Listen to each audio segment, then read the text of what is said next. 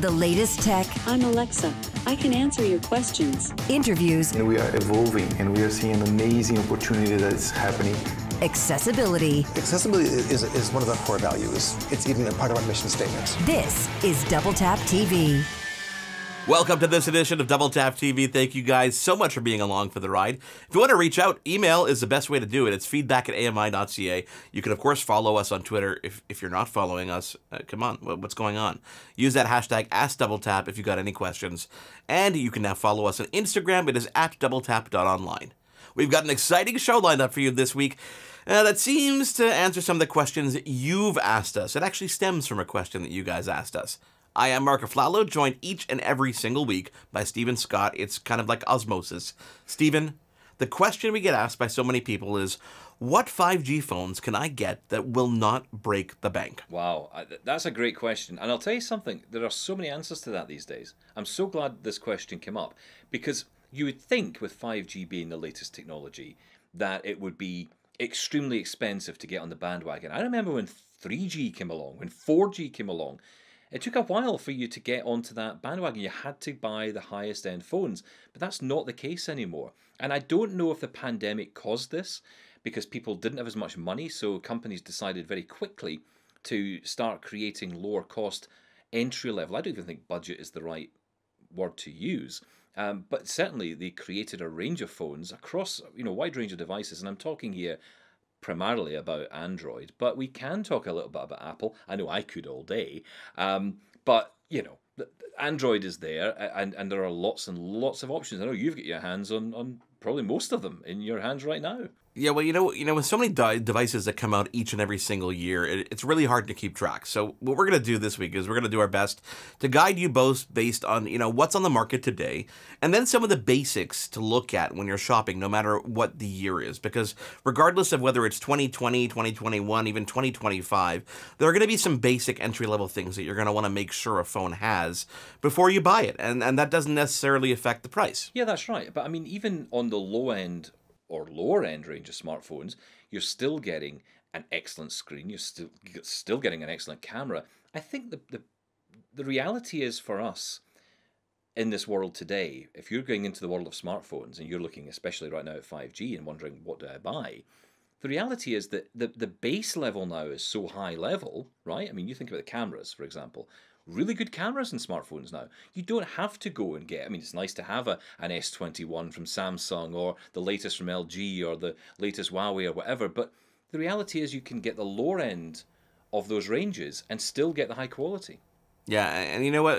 You know, let's start off with some of the basics. For example, you know, we're going to be talking mostly about Android phones, as you alluded to, and that's because really, in the world of smartphones, there are Android phones and there's the iPhone.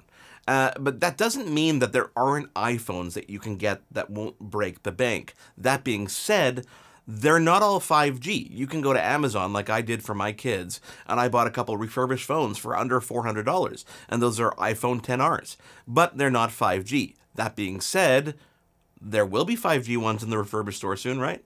Well, that's right, yeah. And I will say that, you know, for me, if, if you're not looking at refurbished, if you wanted to buy new, the cheapest entry level you have on Apple is the iPhone SE.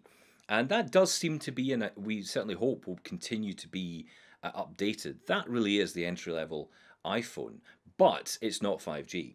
Uh, entry level 5G Apple is the iPhone 12 mini. And to if rumors are to be believed, it's not coming back. It didn't sell well. It wasn't a popular device. It was the cheapest or smallest 5G smartphone, but it didn't really do well in terms of numbers. The iPhone SE, though, hugely popular. Maybe that might be 5G next time round, Marc. So, so here's a question for you. Realistically, is 5G widespread enough right now to even matter?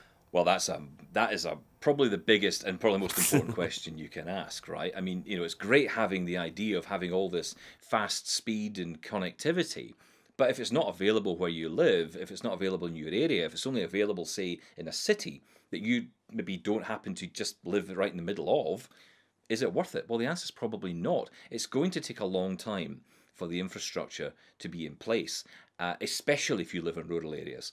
Uh, in some cases, you might find that you know Starlink might get there before 5G. Um, so you know, let's think about this. Is it worth the money? Um, It's, it's an interesting one, isn't it? Because really, what I'm looking for when I'm buying a new smartphone are the features of the smartphone. The connectivity, I'm less bothered about. And you know what? Add the pandemic, add working from home. Okay, eventually lockdown will ease, people will get back out there. But more and more of us are working from home. We're using our home internet connections. So why do we need 5G at all? Um, I do think a day will come when 5G will become massively important in our lives but it's not here yeah. yet. Let's take a quick break, Steven, because when we come back, we've got someone who knows a little bit about phones and the wireless technology, and he now works for one of my favorite companies, and that is TCL. Now they've got new uh, two new 5G phones in their Canadian lineup that are really worth taking a look at, especially when it comes to not breaking the bank. And I've got one of them right here in my back pocket. Look at that. Uh, Steven, let's take a break and come back with Paul Dako from TCL. It is Double Tap TV. Again, get involved. Feedback at AMI.ca. On Twitter, follow us at Double Tap Canada and use that hashtag AskDoubleTap. And now on Instagram, it is at DoubleTap.online. I'll tell you which phone this is after the break. For more great Double Tap TV content, visit AMI.ca slash Double Tap.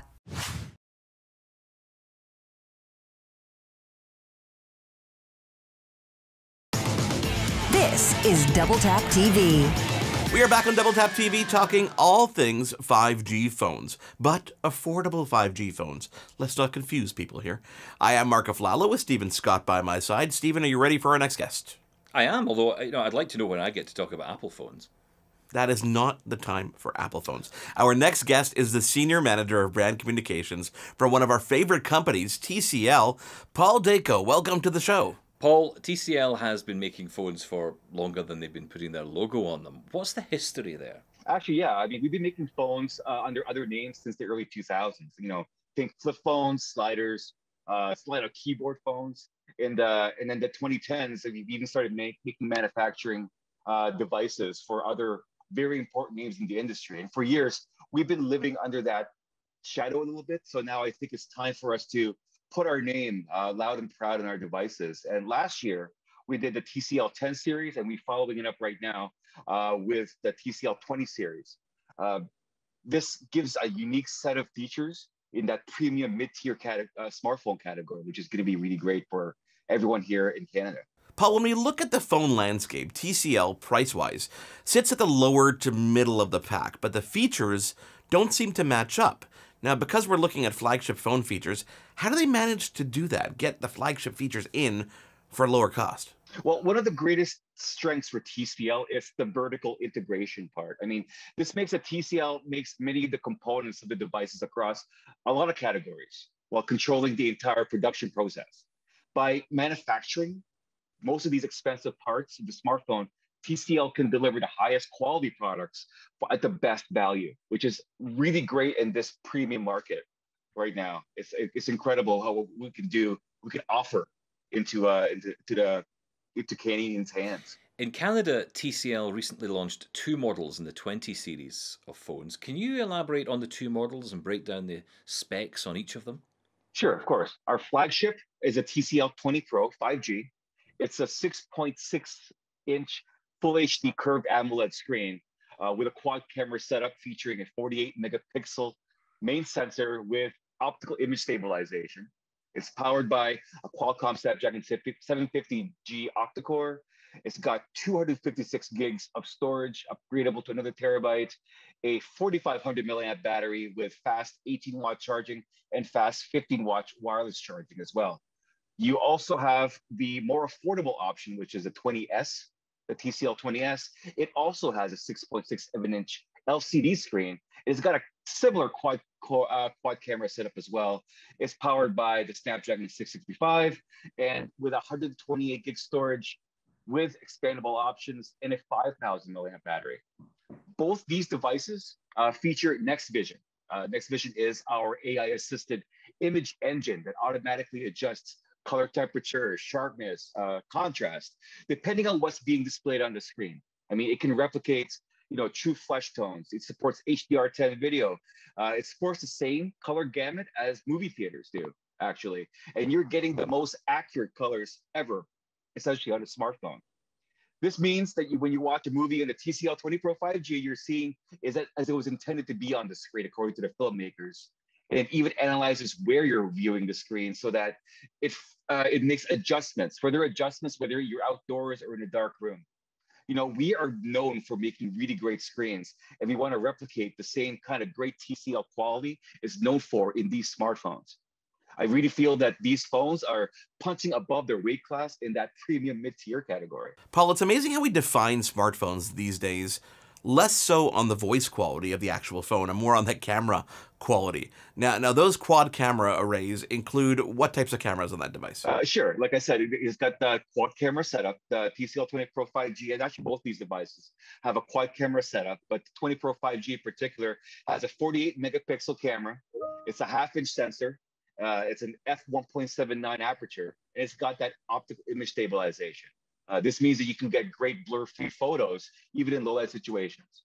Uh, there is a 60 megapixel ultra-wide camera that will get you 123 degrees field of view. And I love using this when I want to get a lot more of that seed into the photo, right? Um, there's a five megapixel a macro, uh, getting in really nice and close to the object. So I've been using this phone for a little while and I can get up to about a pinky's a pinky's width away from my subject without it going out of focus. And finally, there's the two megapixel portrait lens, which lets you take awesome professional quality photos, you know, with that blurry background yeah. and that super in focus subject. And obviously, there's a front facing camera, 32 megapixels, and you're even, uh, we have it so that you can even get great selfies, even when you're backlit. Software wise, Paul, and this is an area that interests me, how does TCL's flavor of Android stack up against some of the competitors out there? We wouldn't be TCL if we didn't add in a little bit of innovation, right? Uh, we run the latest version of Android uh, with our TCL UI, right? It feels very similar to the Google Android, but we have other features that we kind of wanted to add in there to give extra value to those customers. I mean, we have a feature called Super Bluetooth, which lets you uh, play audio to four wireless speakers or headphones at the same time. Uh, you know, it's perfect for discreetly watching a movie with your partner when the kids are asleep, or if you're having a house party, you know, a socially distant house party when we're allowed to have house parties. Um, we're allowed to, uh, we also have a fully programmable um, smart key, like right here on the side there. Uh, I love this feature. Uh, a lot of companies don't have something like this, and this is really, really great. You can set up up to three different functions on this one button on the side, whether it's launching your favorite app or even more specific functions, like launching um, a, a, function in the camera. So you can long press this if you want to, to launch the, the selfie camera or the pro camera. So many features. Uh, there is a three and a half millimeter jack at the top uh, so that you can listen to your music with your wired headphones. Yep. Uh, which is rare. and at the top here too is an IR blaster.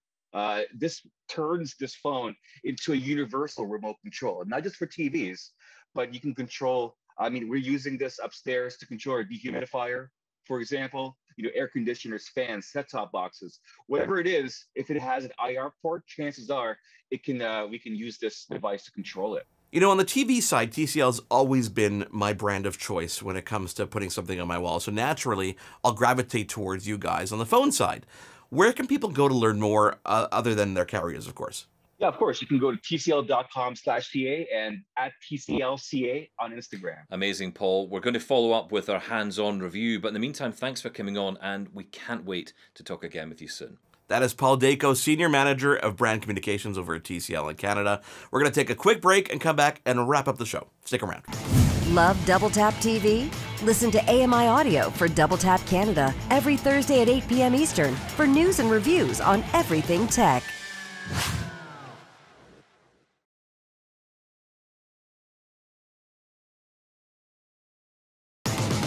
This is Double Tap TV.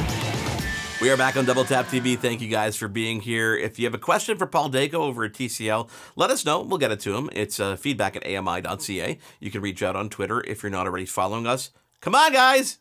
It's at Double Tap Canada, and use the hashtag which is Ask Double Tap as Steven Scott bickers in the in the background. Uh, and of course, is this a new is this a new strategy for social media? We just shout at we beg them, we beg them and yell at them, to follow us. Uh, he is Steven Scott. I am Marc Aflalo. Uh, also, if you want to get in touch with us on Instagram now, it is at doubletap.online. Uh, Steven, in my hands, I have that TCL pro device. I Oh, mean, do you know? one of the things that blows me away about this phone, and really, I mean, it's an Android phone. It's great. It's uh, it's compact. It's thin. It's about the the same thickness of of the iPhone these days. Actually, a bit thinner. Still has a headphone jack on the top over there, which is pretty cool. But look at the back here. Look at the back. Let me describe this to you. Four cameras, as Paul alluded to when we talked about this. But guess what? No camera bump somehow they've managed to keep this device with no camera bump 5g flagship phone no camera bump did i did i say that enough times still the same thickness. it's and same the, thickness the as the same iPhone. same thickness as the iPhone. It's got a headphone jack. It's got you know all the all the water resistance you can expect, all the flagship features, and it's got a great version of Android. I mean, I don't think that TCL's version of Android differs that much from the stock version of Android, which is something that I know you're a big fan of, which is why you gravitate towards those Pixel phones. I do. I mean, I, and interesting, you talk about budget phones, and that's what our, our focus here. You know, I've looked at the uh, 4A 5G, terrible name by Google, but you know that's what it is. It's the Google Pixel 4A with 5G built in, and you know it does have that stock Android on it. But I'm hearing more and more people actually saying in the blind community that some of these overlays that companies use or these variants of Android are actually okay. Uh, it's just a case of learning how they work. I've always gravitated towards stock Android because I know that I'm getting that raw vanilla experience of Android. But when it comes to these devices, I think most of them certainly do seem to be more accessible now than they used to be, those launchers that you have on there. Can I can I admit something here on the show for the first time? I, I don't think I've admitted it before, Steven, but I, I really badly want to switch off of an iPhone. Um, not for lack of uh, liking the ecosystem. I don't mind the ecosystem, but there are so many cool phones that come out in a year that I wish I could just switch off of an iPhone and and get things like FaceTime and iMessage, which are those two features that really kind of keep me stuck into that device. And I find myself carrying two devices these days because I'm testing the latest Android phones, um, but the iPhones are the same, you know, year in and year out for a one year period. But I'm desperately wishing that I could find a way to force myself off an iPhone. I think the only way that's going to happen is if my iPhone breaks. Every Apple store in the world is closed. Amazon doesn't deliver iPhones in 48 hours. And I'm truly stuck on an Android phone for a good one to two weeks. But uh, I don't think that's ever going to happen. No, none of that's going to happen, Marc. But um, but this is the reality we're in, right? I mean, I feel sometimes like I'm trapped inside this. I've been kidnapped by Apple, and I'm stuck inside their amazing world, um, which I, in some ways I don't want to get out of, but I also do. And I think about you know, as a blind guy using VoiceOver on the Mac, I don't enjoy that experience as much as I enjoy a screen reader on Windows which means I could come away from the Mac easily enough. So that means I could maybe move away from the iPhone. But it is iMessage, it is FaceTime. You know, we connect on FaceTime. We made this joke the other day, we were talking on the phone. Neither of the two of us have ever made a phone call to each other in our lives. We've always spoken on this. I think I tried to call you once when you were in Vegas at CES last year. I couldn't get you on FaceTime, so I tried to call your phone and it didn't work. So I ended up catching you on Wi-Fi, which was kind of interesting. But yeah, no, I, I wish you know, I wish again, not for not for not liking anything that Apple does. I like a lot of the things they do. I just feel sometimes that I could you know benefit from using the latest Android phone or playing with more of these devices. So hang on. Hang on. Though. Oh, oh, would oh. would you would would you be? I mean, Google certainly are pushing towards this new messages approach in Android 11. So would you go down that road? Because let's be honest, it's getting it's as if Google want to create their own version of iMessage. They've already got Google Duo, which does what FaceTime does. So it would be possible for us to make the move. It's the willingness to do it. You know what? I, it's getting over the habits. Uh, and getting over just just getting used to something you know? You're so used to something and the way it works. I, I know instinctively how to do everything on an ios device. On an android device there's that learning curve and you need to get over that curve. It's kind of like when you start a new tv show i find you have to watch two or three episodes and get over that hump of what the show is let it establish for you to really be interested in. I just started watching ted lasso and we got through the entire series of 10 episodes in three or four days because we got through the first two that were uncomfortable and actually enjoyed the show. Whereas there's some other shows that I won't name here that I've watched six episodes and I'm like, I can't get into this. I can't get past that learning curve or I can't get past that that taste curve. Some you know, as human beings, we are creatures of habit. We like what we like, we don't like what we don't like, and we don't want to stray from it because it takes a little bit of effort, and I don't want to put that effort in sometimes. And I think that's the case when it comes to switching off of an iOS device. It's I'm a creature of habit. I've got HomeKit throughout my entire house. My kids have iPhones. My wife has an iPhone. Why would I be the one person to switch to an Android device? Yeah, and you're lazy. Let's just be frank about it. We're both lazy people. Why do? Who, who's got the time? Exactly. Totally, and and at the same time, you know, uh, even if I did switch to Android and I was a little bit different from everybody else, um, I, I probably find myself carrying those two devices around all the time, which is kind of annoying, especially when you're traveling. But at the same time, gives you something to do, I guess, play on a different platform and, and see how things work. I guess. I switched to Android just for something to do. That's the that has got to be the. I, I hope Google used that line down the line. yeah, that's going to be a great marketing piece. I, why did you switch to Android, sir? I was bored. Just wanted something to do. Steven, thank you so much for being by my side each and every single week. I can't imagine anybody else here. Well, I can imagine a couple people, but I won't bring them up now. I could think of a Yeah, few. thanks. Yeah, let's not do that. On behalf of Steven Scott and Paul Dako, thank you guys so much for being here talking all about 5G. Again, if you want to get involved, feedback at ami.ca is our email address. Of course, on Twitter, follow us at Double Tap Canada, the hashtag which is Ask Double Tap. And now on Instagram, we are at doubletap.online. We will chat with you again on our next show. Thanks for being here.